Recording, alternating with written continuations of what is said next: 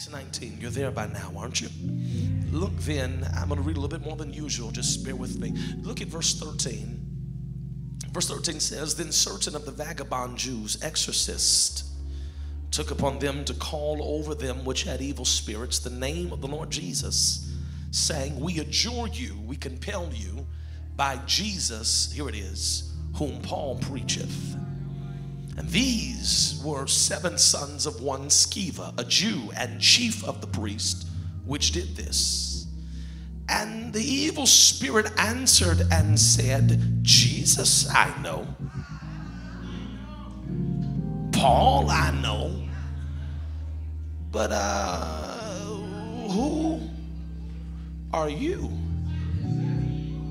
And the man in whom the evil spirit was leaped on them and overcame them and prevailed against them, so that they fled out of that house naked and wounded.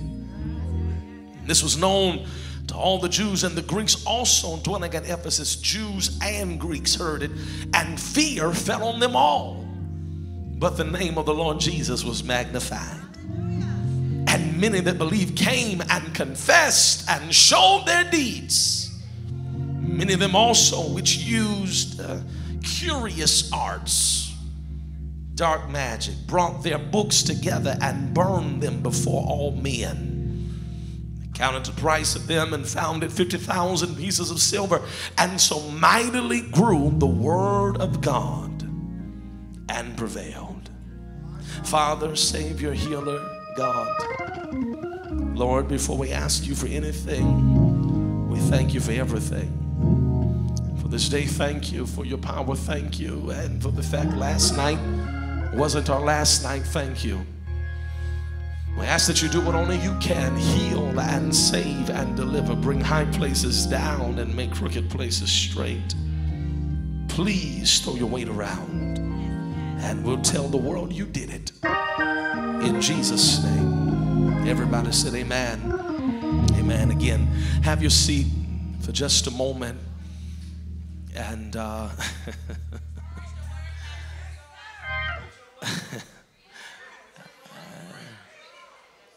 got a few got a few amens on the right side. Y'all, y'all looking at me over here like I owe you money or something. I, all right. And Corey, I done lost all my monitors. I want to preach for just a moment simply from a subject and help me get it out. Tell somebody, say, neighbor, neighbor. the demons are asking you a question.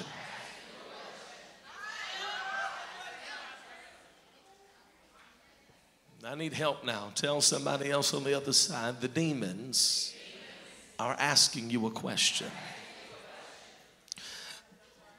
What an interesting scene we see here in the 19th chapter. The book of Acts, Paul is ministering in Ephesus, and the chapter begins with him posing a question to some disciples that he meets on the road. And it is a critical question that I really feel resonates with our church in this season of outpour and revival that we've been in. And the question is simply, he says, Have you received the Holy Ghost since you believed? Uh, I, I, know it's early in the message, but I got to ask you that question because the question still rings true. Have you received the Holy Ghost since you believed? It seems that Paul is suggesting and implying for us to consider that this Holy Ghost that has recently been poured out earlier in this history book of the church is somehow important, essential, and necessary. He says this to what the Bible calls, interestingly enough, disciples. Some of you would say, well, hold on. If they have not received the Holy Ghost, how are they disciples? But what I love about this is that it shows us that every disciple still has a journey to walk out. And no matter where you are, you're not there yet. There's always, please hear this, more that God has in store for you. Can I just say that to you directly? God has more for you. No, Pastor, I've been in church for 30 years. That's good. We're proud of you and all 30 of your years, but God still has more. No, no, Pastor, I come from a ministry family. Good for you. Surprise, celebrate you, but God still has more. He's talking to these disciples and he asks them the question Have you received the Holy Ghost since you believed? They respond and say, We don't even know about this Holy Ghost. We haven't heard of such. What, what exactly is that? He says, Don't worry, we'll, we'll get there. We'll, we'll cover that and cross that bridge when we get there. But let me ask you this question. He says, How were you baptized? They respond and say, Well, we were baptized unto John's baptism. And I love the wisdom that he uh, employs here because he does not tear down their experience. There's some of us that come from backgrounds and traditions that would have jumped at the opportunity to tell them how wrong they were. They would have jumped at the opportunity to tell them how much they've missed it and how off they are. But what I love about Paul is that the wisdom he shows is that you don't take away, you always add to. Yeah, he, he says, well, we, we celebrate what you did with John's baptism, but now that we have a revelation of who Jesus is, he takes them, and hear me, I'm in Acts chapter 19. I'm not in a denominational handbook, I'm not a reformational guide. The Bible says that he took them down and baptized them again, calling on the name of the Lord Jesus. It's as if he wanted us to understand that there's a powerful parallel between being filled with his spirit and being baptized in his name. But look at what happens furthermore. The Bible says that he then moves on, and verse 11 tells us that God is working unusual miracles through Paul. He's, he's doing creative things, so much so, you're gonna like this. The Bible says that Paul is so anointed, in fact, that they take hankies and handkerchiefs that have touched his body and send them to the sick, and the sick get better. I don't have a lot of voice here, so I can't I can't say it like I want to. I need you to help me say it. Look at someone and tell them, say, neighbor, I want to be so anointed that anything that's been close to me can feel the power of God. Uh, you didn't hear what you just said. I, I, I'm talking to some of you, though, that are in a place where you want to be so anointed. I want to be so on fire. I want to be so connected that anything that gets close to me is going to have the residue of the anointing. In fact, I'm going to start giving people a disclaimer when the usher sits them on my row. I just want you to know uh, that if you don't want to be healed, don't sit next to me. If you if you don't want to be done with your depression or your sickness or your anxiety or your fear or your poverty, if you don't want to be done with it, don't sit next to me because there's so much anointing on my life that anybody that gets close to me is liable to catch a miracle. You ought to just pass that down your road. Say, neighbor, I'm anointed like that. I'm, I'm anointed. I'm anointed like that. I'm, I'm liable to break out in a praise that gets everybody delivered. I'm anointed like that. I, am liable to go to shouting and dancing and get everybody free because what God has given me is contagious and anybody that wants it can get it. Hmm. Ah, he says, he says, he says that, that he begins to work unusual miracles and, and people are being healed. But then verse 13 walks us into the scene that we're preaching about this morning because in verse 13 we discover, hear this now, that there are some vagabond Jews that are walking around, trying, walking around, trying to get a makeshift deliverance ministry off the ground. And, and I don't want us to skip over the term that Luke writes here and uses here, he calls them vagabond Jews, itinerant Jews. Vagabond, what an interesting word choice because vagabond speaks to a wanderer. Vagabond speaks to someone that has no roots, they are unsettled. And you know why that's significant? It's significant because uh, there are a lot of vagabond Christians walking around right now. You, you, you, don't, have to say, man, I brought two amens with me. I'll use them when you get quiet. There are some vagabonds walking around that have no roots anywhere. They have, they have no stability. They have not made themselves accountable anywhere. They're, they're here today and there tonight. They are going wherever the wind and the trend and the fad is blowing them. But he says that they are trying to do fake deliverance using Paul's uh, life as inspiration. Now, the reason that this is important for us to realize, hear me clearly, church, is because we are living in an hour, hear me, where we have made deliverance ministry a brand of the church. You, yep, uh huh. We have made deliverance ministry a niche market. We, I'm just going to say it, have made deliverance profitable. And we have tried to present deliverance as if it always has to be spooky and it always has to be strange. It always has to be, ooh, in order for deliverance to take place. We have made it mystical and relegated it to only one sector of the kingdom. And so we have created these silos where we operate as if if you want to be delivered, you got to go to a deliverance ministry, some storefront, some some some little corner of a room somewhere. But I want to tell you that my problem with that is if the Bible is right and it is, every New Testament church is supposed to be a deliverance ministry. Oh, y'all not hearing me. You you let somebody tell you that in order to be a deliverance ministry, you got to be small and you can't have excellence and you got to have wheelchairs and crutches on the wall and you got to have 14 names in your church name and international and deliverance. Yeah, yeah, you, you let somebody tell you that, and there's nothing wrong with that if that's your expression. But I want to let you know that wherever the Holy Ghost is, deliverance is there. Can I preach to the heart of man in here today and tell you that I don't care what you are bound by or bound with or oppressed with or what you are facing or fighting or working with or struggling against? I want to let you know that even if nobody comes down and prays for you, throws oil in your hair, pushes your wig back, if nobody shakes you, tricks you, does a leg sweep, pushes you on the ground, can I tell you if you want it and if you receive it, deliverance is available to you right now. You, you, didn't hear what I said. You, you said, oh, Pastor, next. No, deliverance is available to you. Somebody shout right now. You can be delivered from perversion. Somebody shout right now. You can be delivered from depression. Somebody shout right now. You can be delivered from low self esteem. Somebody shout right now. You can be delivered from your alcohol abuse. Somebody shout right now. You can be delivered from crack cocaine. Somebody shout right now. In fact, just pass that down your road. Say, neighbor, if you want it, you can get it.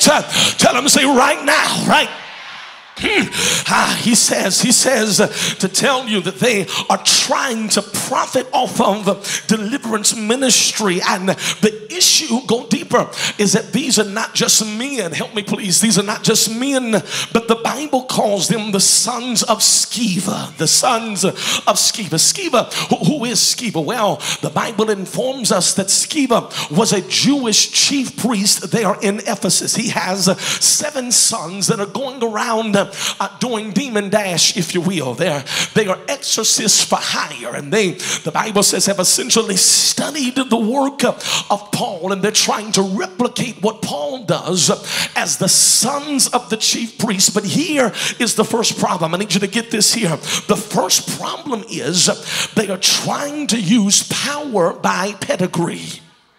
Mm, yeah, I'll say it again. Power by pedigree. In other words, they feel that because they are the sons of the chief priest, that they ought to have enough to get the job done. They feel that because of where they come from and who they've been connected to, that they are qualified to walk in this level of spiritual warfare. But what they did not understand is that while they had a name, they did not have an authentic relationship with Jesus.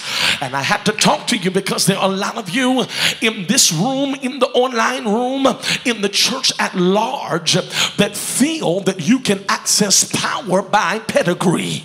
You feel that because your mama was a district missionary or your auntie was an evangelist and your daddy was somebody's pastor and your granddaddy was a bishop and your cousin is a chief arch apostle. Y'all know we got some titles over here in the sanctified church. You you feel that because your uncle was a this and your auntie was a that, then somehow you have access to power. But I'm here to tell you that the devil is a liar. You cannot make it on somebody else's relationship relationship, you got to know him for yourself. Oh, I'm preaching to somebody in here that thinks that your mama's prayers are going to be the thing that keep you and take you all the way to your destiny. Yes, I am only here. Many of us are only here because somebody prayed for me, had me on their mind, took the time and prayed for me. I'm so glad they prayed. I'm so glad they prayed. I'm so glad they prayed for me. But please understand, at some point, you're not going to like it, but I got to say it You've got to mature to the point that you learn how to get a prayer language for yourself. I wish I had a church around here today. You can't keep leaning on your pastor's prayers and on your elders' prayers and on the deacons and the ministers' prayers because let me help you.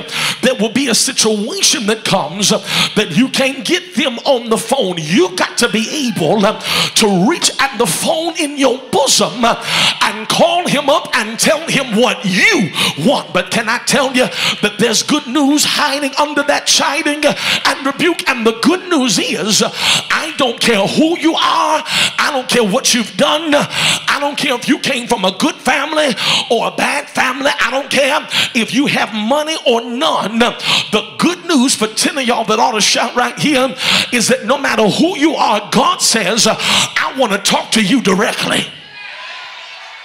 You didn't hear what I said. Can I tell you that that's good news? Because some of us feel that we don't have access to Him, but God is saying, I want to know you for myself. Is there anybody in here that's just grateful that the God of the Bible loves you so much that He wants to have direct relationship with you? Uh, you, you might as well help me preach this thing. Tell, tell somebody, you may not like me. You may not not call me. You may not want to speak to me, but tell him God loves the sound of my voice.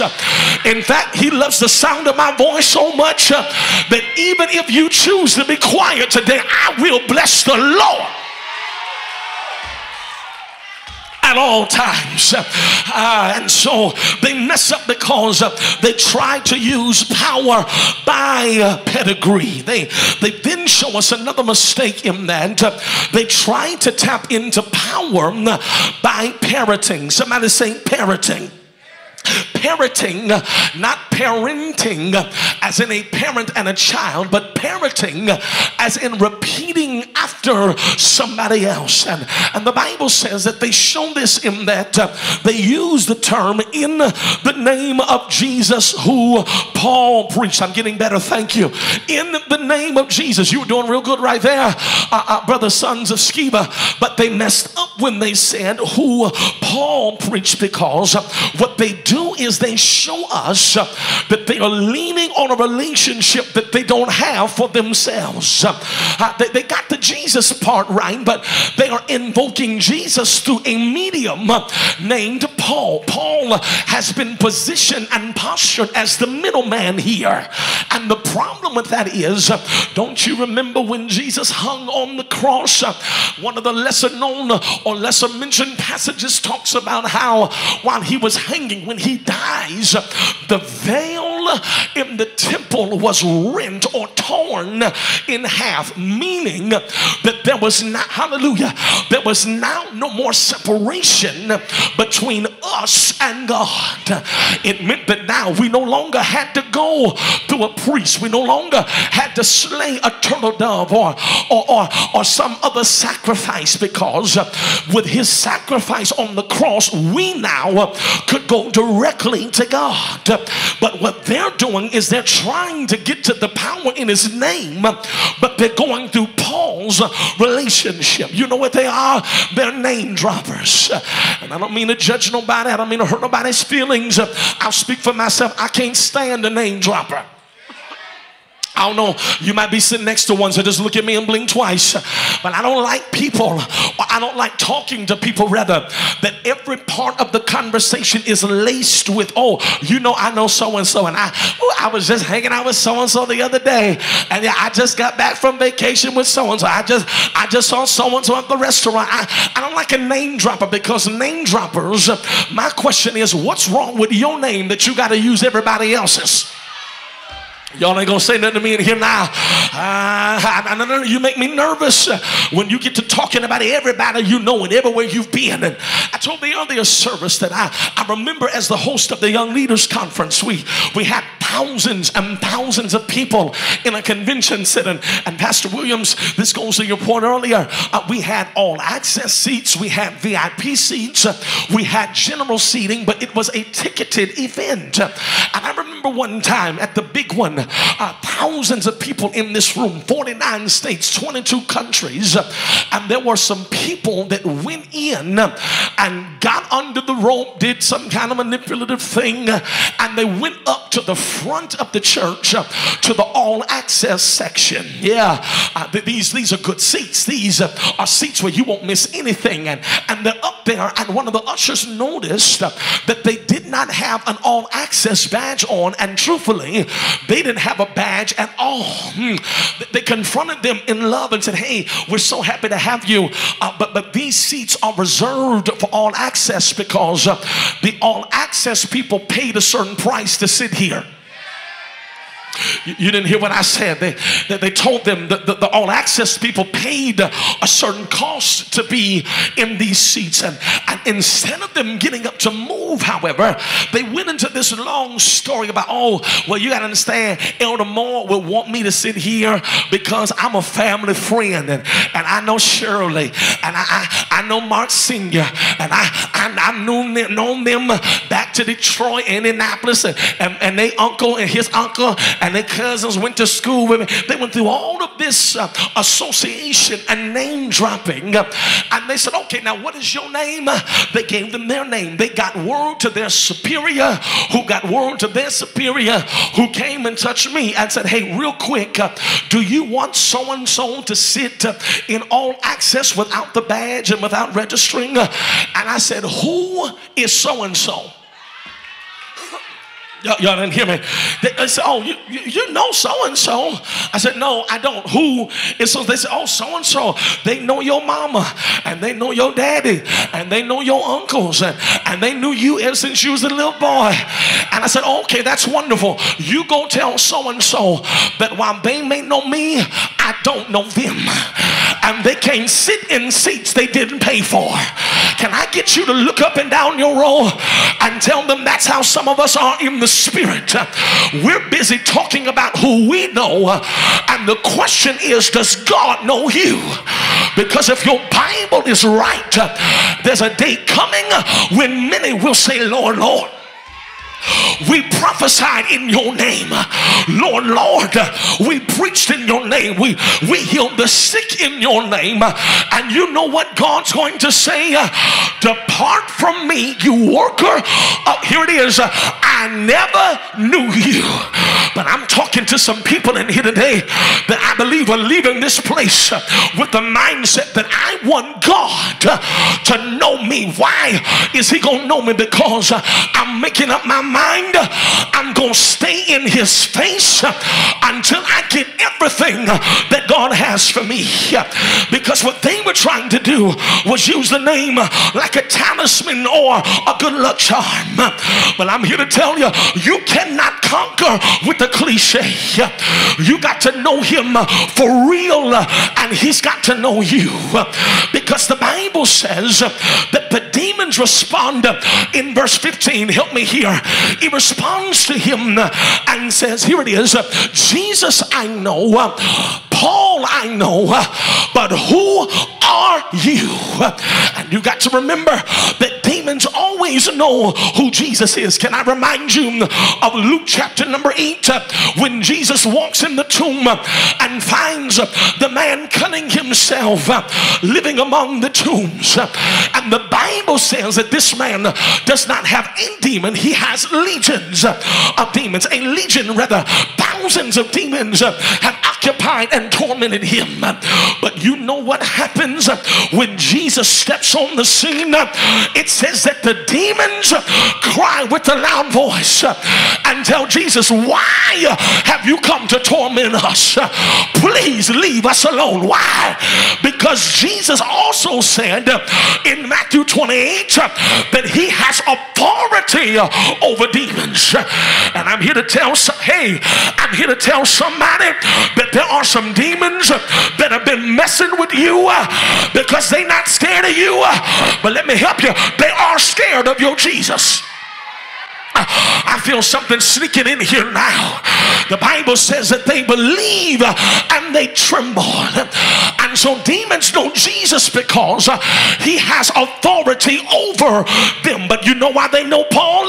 Because Paul is in direct relationship with Jesus. And I'm here to tell you that when you get in real relationship with him, you got to understand that God gives you that same power to intimidate hell when you know who God is for real. But look at what happens. The Bible says they asked them, Who are you?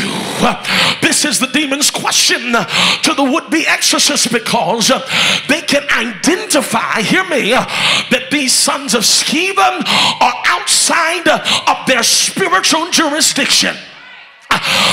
They, they have watched others work miracles and cast others out, but they don't have the same power that they had. And so the Bible says that the demon leaves them naked and wounded because whenever you try to operate with a fake relationship dealing with a real demon, he will always leave you embarrassed. Can I get you to touch somebody and tell them, neighbor? No, tell them, say, neighbor. You better hear me well today. Tell them there's an hour coming where we're going to see who's real and who's fake. Y'all not talking, but I need you to tell somebody there's a day of reckoning on the way where we're going to see who had a real prayer life and who just knew song lyrics. There's a day of reckoning that's on the way. Y'all better hear me in the Holy Ghost where we're going to be able to tell who really was fasting and who just didn't post a lunch when the church was fasting. There's a day of reckoning coming where we're going to see who really has been in the presence of God and who is just going through motions. Because when real demons show up, you can't use fake anointing to fight a real demon. I wish I had somebody in here that would just make up your mind though.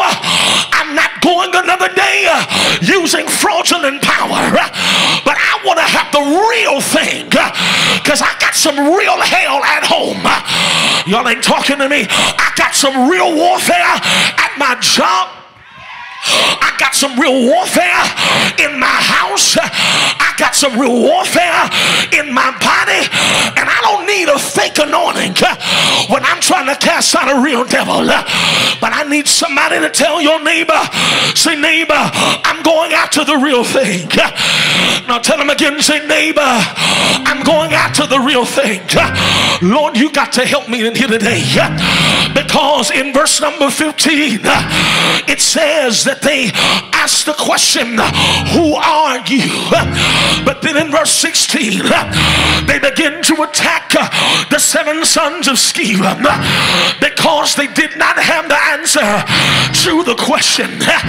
But I came to talk to somebody in here and tell you that you don't have to go out like the sons of Sceva did because you need to know that because they didn't have the answer, that doesn't mean you don't have the answer. Because I want you to know the demons are still asking questions. And they're saying, Jesus, I know. They're saying, Paul, I know. But they want to know, who are you? And I need you, I need you, I need you, I need you to grab your neighbor by the hand and say, neighbor, I, I'm so glad to tell you that if the demons ask me that question, tell them, say, I have an answer. Because I learned last week that I'm not an orphan anymore. So if the devil wants to know who I am, I can stand here and tell him that I am the righteousness of God. I am a joint heir with Jesus. I am seated in high places, heavenly places with Christ Jesus. I know who I am because I know who Jesus is. I'm healthy, healed, and whole. I know who I am. I'm the head and not the tail. I know who I am. I'm the lender, not the borrower. I know who I am. Man, y'all ain't come to have no church. Y'all ain't come to have no church. Y'all ain't come to have no church. Y'all ain't come to have no church. But is there anybody watching on YouTube? Is there anybody watching on Facebook that'll get your sanitizer and rub it in real good? And why don't you just lean over and grab your neighbor by the hand and say, ah, Say neighbor, Lord, I feel the Holy Ghost. Say neighbor, I know who I am. And here's what God told me to tell you. After the demons beat the boys, they didn't know who they were. It says that everybody got news about it. It says everybody heard what happened. And here's what you got to know today. It says they've been working in dark magic. There were witches and warlocks that were trying to do it another way. But when they saw the difference between the real and the fake, they said, We decided we want the real thing. And they got their witches, witches' resources, they got their spell books, they got their hexes, and they created a fire and burned all their books. Ain't the Lord all right? Because they made up their mind that we don't want anything that's counterfeit, but we only want the real thing. And I'm preaching to somebody that ought to make up your mind. I want the counterfeit. I only want the real thing. I'm denouncing everything that's not authentic because I only want what God has. I'm giving up my way. I only want what God has. I'm giving up my agenda. I only want what God has. But I got to leave y'all here. But here's what the Bible says it says they burn their books.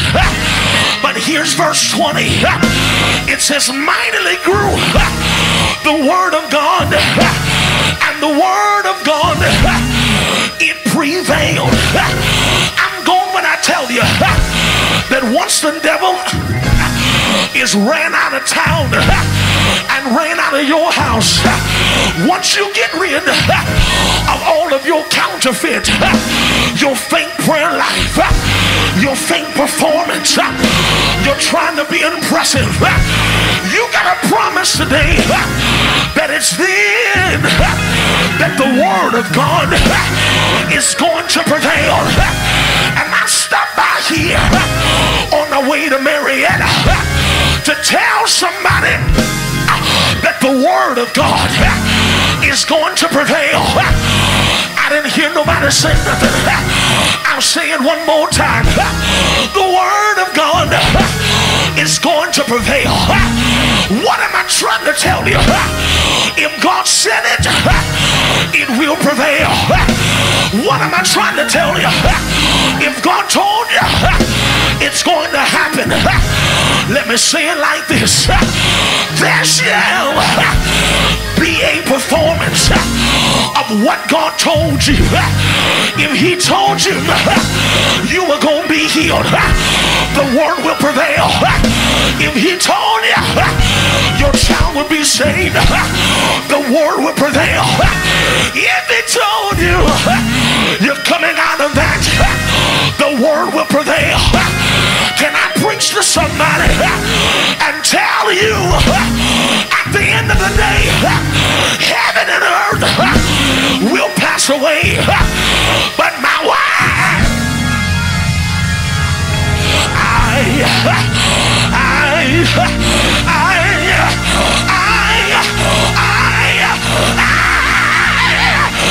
word will last forever.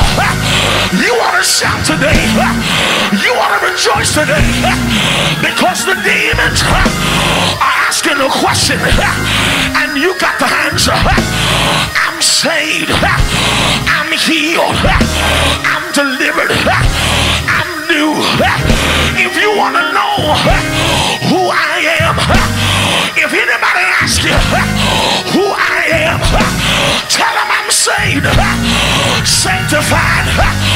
Holy Ghost filled, fire baptized. I got Jesus on my side, and I, I, I'm running for my life.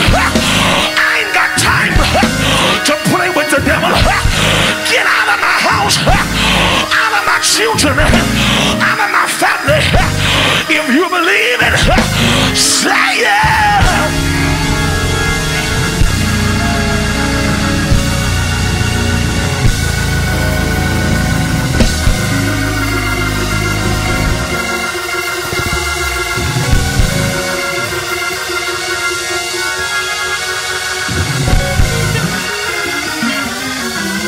Everybody stand up.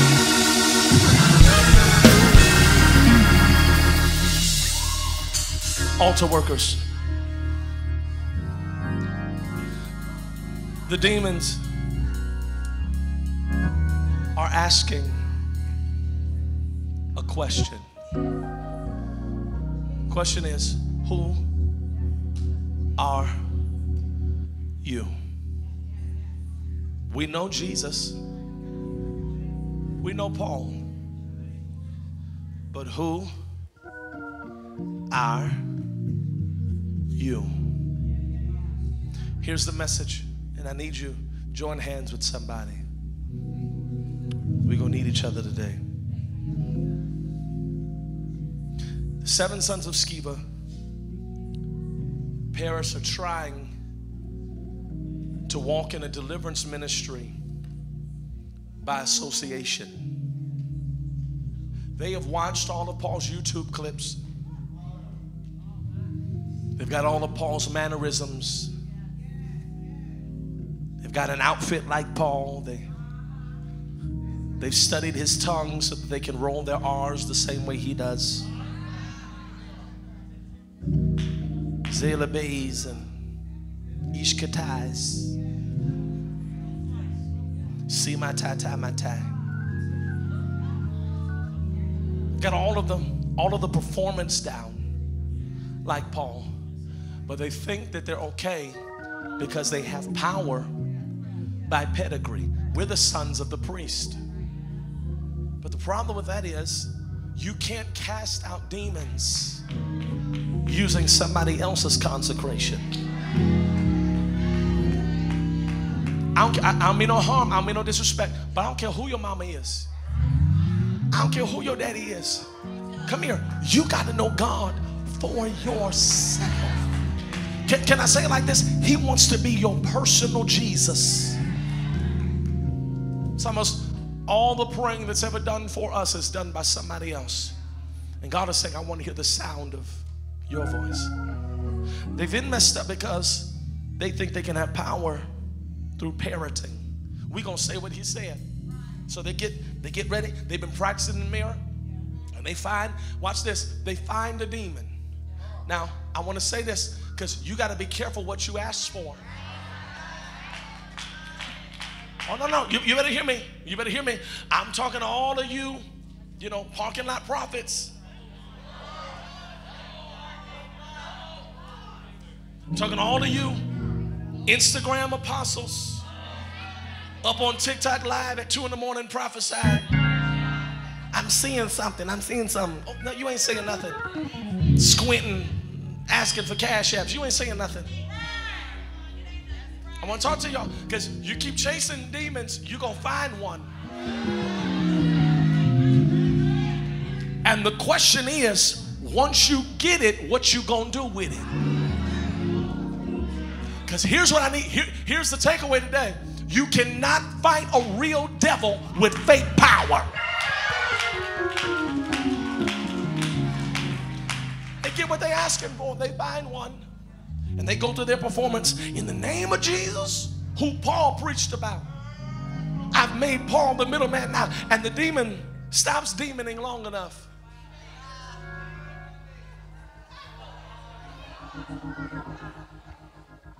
Demon says, in the name of Jesus that Paul preached, he says, Well, Jesus I know. Paul I know. But Mr. Big Stuff, who do you think you are? Bible says, think about this. I, have I've overlooked this all the times I've read this. They don't even give an answer. Can, can, can we sit there for a moment? Who do you think you are? Who are you? Jesus, I know, Paul, I know. Who are you? The text documents no response. Can I submit for our consideration? Maybe the sons of Sceva were so busy studying somebody else. They didn't know who they were either. You're holding that hand, and that person whose hand you're holding is asking a question right now Who am I? And here's what God told me to tell you relationship with Him is what reveals identity within you. Let me say it better. You don't really know who you are until you know who He is. All right, I'm out of time, but can I prove it to you? Don't you remember when Jesus asked the disciples, Who do men say that I am? They spoke up. Well, some say you're John the Baptist, and some say Isaiah, some say you're Elias. He says, Yeah, that, that's great. Who do you say that I am? Which one of the disciples responded? Which one? Which one? Which one? Some of y'all are saying Peter responded. He says, Thou art the Christ, Son of the living God. I want to tell you though, if you said Peter, you close, but you ain't all the way there. Because the Bible says it was Simon that responded. Wow! Simon says, I know who you are. And when Simon identifies Jesus, Jesus then identifies Simon. He says, No more are you Simon, but now I call you Peter. Because once you identify who he is, he reveals who you are. Squeeze that hand and say, neighbor, I'm about to turn from Simon into Peter. Because he's showing me who I am. Who are you? I know who your mama is. I know who your daddy is. But in the spirit, who are you? I'm getting open for prayer. You're getting ready to come. There's about to be a strong move of God. It ain't even going to take long. But I want to tell you, in the spirit, some of you all are nothing more than elementary school safety patrolmen. I'm not here to insult you. I need you to hear me though. In the spirit, you got your safety sash on, you got your sign, your little vest. And you know what some of you are doing? Some of you all with your elementary school safety patrol vest on are trying to do drug bust over here on Cleveland Avenue. Knocking on crack house about freeze in the name of the law.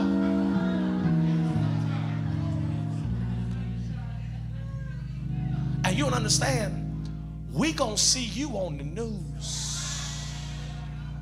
because you are out of your spiritual jurisdiction. You can't fight a real devil with a fake power.